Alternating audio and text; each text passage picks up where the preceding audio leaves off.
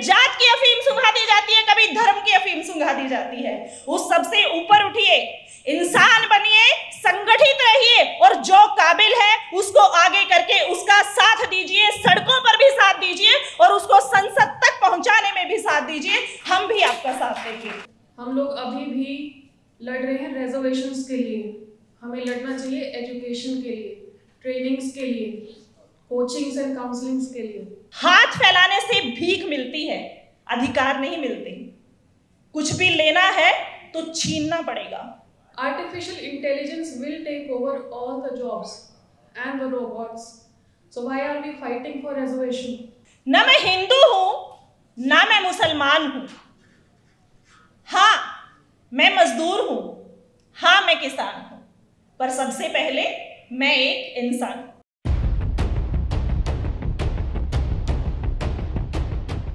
मान और सम्मान के योग्य यहाँ उपस्थित सभी माननीय सदस्य, मेरे मीडिया बंधु आयोजन करता और सामने बैठी मातृशक्ति, सभी को मेरी तरफ़ से नमस्कार। न मैं हिंदू हूँ, ना मैं मुसलमान हूँ। हाँ मैं मजदूर हूँ। हाँ मैं किसान हूँ। पर सबसे पहले मैं एक इंसान जय किसान। जय संविधान आप सबने यहाँ बुलाया और बोलने का मौका दिया। उस सबके लिए आपकी अति धन्यवादी हूँ। किसान समाज का प्रतिनिधित्व करती हूँ। सुमन हुड्डा, महिला प्रदेश अध्यक्ष, भारतीय किसान यूनियन चढ़ूनी आज यहाँ पे मातृशक्ति को कम देख के थोड़ा दुख भी हो रहा है और खुशी भी है कि कम से कम कुछ परसेंट तो हम लोग यहाँ पे आज मौजूद हैं। और आपने हमें मौका दिया है यहाँ पे अपनी बात रखने का, प्रतिनिधित्व करने का। तो हम आपके अति आभारी हैं। किसान, मजदूर। किसान और मजदूर के नाम पे ये राजनीतिक पार्टियाँ हमेशा वोट लेती आई हैं। हम किसान के लिए ये कर देंगे, हम कर देंगे। हम किसान के बच्चों के लिए ये सुविधाएँ लाएँगे, हम मजदूरों के लिए ये सुविधाएँ लाएँगे। पर कौन लाया सुविधाएँ? वो सुविधाएँ उन्होंने आपका वोट बैंक इकट्ठा करके आपके वोट लेके वो सुविधाएँ उन्होंने खुद के लिए जुटाई, खुद के बच्चों के लिए जुटाई। आज उनके बच्चे घरों में बैठ के प्रैक्टिस कर रहे हैं कॉम्पिटेटिव एग्ज़ाम्स की तैयारी कर रहे हैं और हमारे बच्चे, उन्होंने धर्म और कावड़ों की तरफ़, हरिद्वार की तरफ़ धकेल कर, वहाँ उन्होंने उस रास्ते पे उनको लगा दिया ताकि वो उस कंपटीशन में शामिल ही ना हो सके। उनको धर्म की एक ऐसी अफीम चटा दी गई है कि वो कुछ समझ नहीं पा रहे। अगर हम उनको कुछ समझाने की कोशिश भी करते हैं तो उल्टा हमारा विरोध करते हैं। ये दिया उन्होंने हमें। आप लोगों ने यहाँ से अनाउंस किया है, आगे प्रोग्राम का। बात हुई यहाँ से कि सड़क पे उतरिए तो हम ऑलरेडी सड़कों पर हैं। हम वो टीम है जो तेरह महीने दिल्ली की सड़कों पर बैठे हुए थे। हमने दिल्ली ही की सरहदों पे बैठ के लड़ाई लड़ी और उस तानाशाह को झुकाया है तो आपकी जो भी लड़ाई होगी, उसमें हमारा सहयोग 100 परसेंट रहेगा। जहाँ भी ज़रूरत हो, याद कीजिएगा, हम जहाँ पे आपका पसीना बहेगा, वहाँ अपना खून बहाने के लिए तैयार रहेंगे। महिला, किसान आंदोलन में हमने महिलाओं की एक बहुत बड़ी सशक्त टीम तैयार की थी। ये वो महिलाएँ थी जो कुछ भी कर गुजरने को तैयार थी। तो मैं आपसे एक विनम्र निवेदन करना चाहूँगी कि अगली बार जब भी आप यहाँ आए, अपने घर से अपनी माता, अपनी बहन, अपनी बेटी या अपनी बीवी की हिस्सेदारी भी यहाँ करें। हम वहाँ हिस्सेदारी मांग रहे हैं ना तो उस हिस्सेदारी को मांगने से पहले यहाँ हमें हिस्सेदारी दिखानी होगी। तब हम वहाँ की हिस्सेदारी का दावा कर सकते हैं, वरना इन खोखले बातों का कोई फ़ायदा नहीं होगा। हमें कोई भी अधिकार मांगने से नहीं मिलता। हाथ फैलाने से भीख मिलती है, अधिकार नहीं मिलते। कुछ भी लेना है तो छीनना पड़ेगा।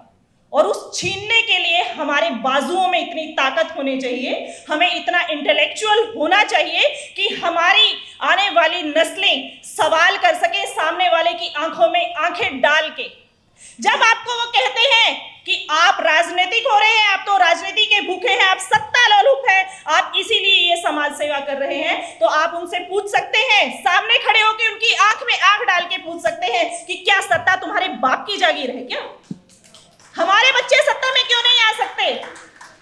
क्या हम आप लोगों के सामने ऐसे ही प्लेट लेके घूमते रहेंगे और आपकी दरिया बिछाते रहेंगे? क्यों? क्या हमारी माओ ने ऐसे बेटे बेटियाँ पैदा नहीं किए हैं? क्या उनमें इतनी समझदारी नहीं है? जाके बैठ सके और अपने लिए कानून बना सके? हम क्यों गिड़गिड़ा रहे हैं सड़कों पे कि आप हमारे लिए ये कानून बनाइए, हमारे लिए वो कानून बनाइए? कानून बनाने वाले बनिए।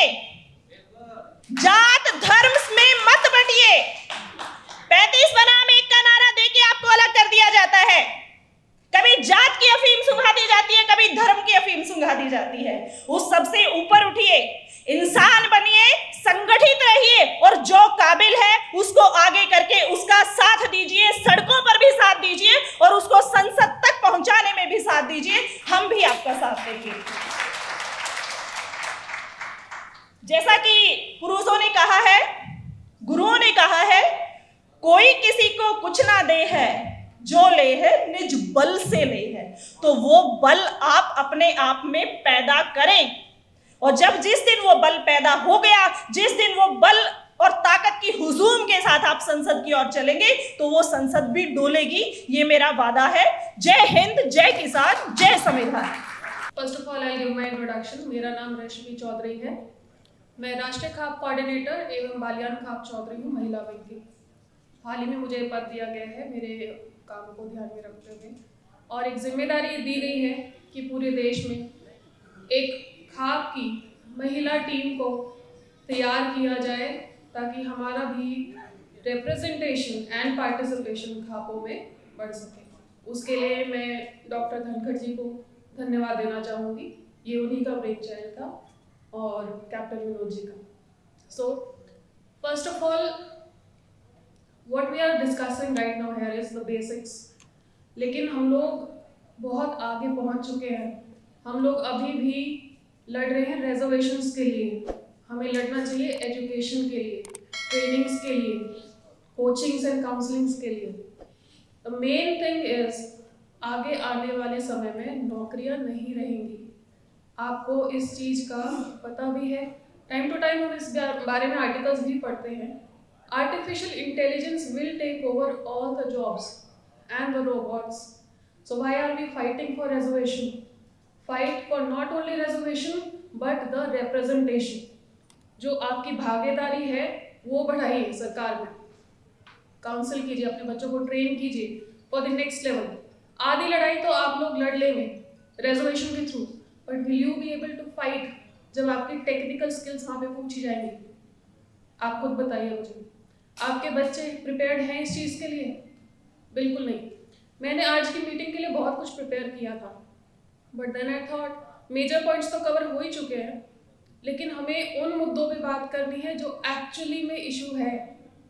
We are not talking about artificial intelligence we are not talking about the technical skills required for the jobs हमें रेजर्वेशन मिल जाएगा। लड़ लेंगे। हम धरना दे देंगे, कोई बात नहीं। We will start with you but will you be able to handle it जब आपको प्रेशर आएगा कि आपके सामने वाले लोग इतने टेक्निकली साउंड है what will you do then you will say I have the reservation no that will not work so work on the ground first what you need you need education उसके लिए लड़िए। Training चाहिए आप लोगों को। उसके बाद ही हम कुछ कर पाएँगे। So half of the fight will be over with reservation and half with your skills thank you so much